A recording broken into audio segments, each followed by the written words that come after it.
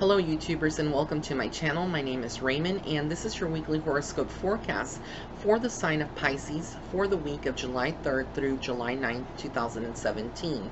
Now this week for you Pisces, you are going to be seeking some something in your life right now where you are feeling like you are out of place.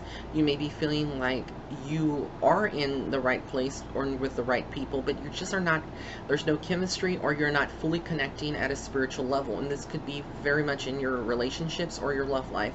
So you will be seeking guidance um, from someone or maybe, you know, just seeking guidance from yourself. Um, and know that Spirit is reminding you that um, the power does exist within you and you will be getting that insight that you do need into the situation that is occurring right now.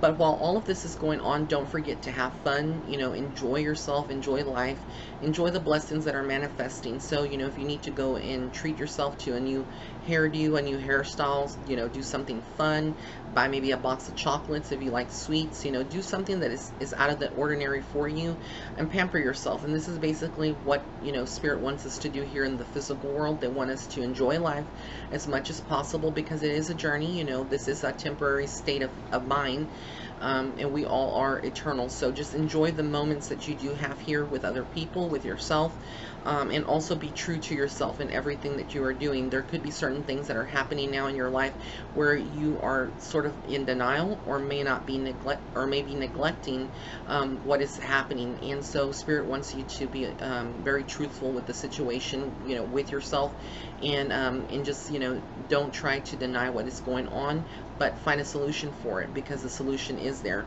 Also, you will um, need to embrace all the moments that are happening right now with synchronicities. Um, and also um, just overall spending time with your, your family members. There could be family members that are wanting to spend time with you, but either for some reason or another, you're, you're in your own world, you have your own things going on, and you've been pushing them away for a while so just be sure to reconnect with them but overall it's a fantastic week go out there enjoy um, you know the sunshine wherever you're at enjoy nature. And um, I want to thank each and every one of you for tuning into my channel. Be sure to hit the subscribe button on the bottom right hand corner of this video and you will be notified of any future videos that I do publish. And also be sure to follow me on Facebook and Instagram and the links will be listed in the description box below.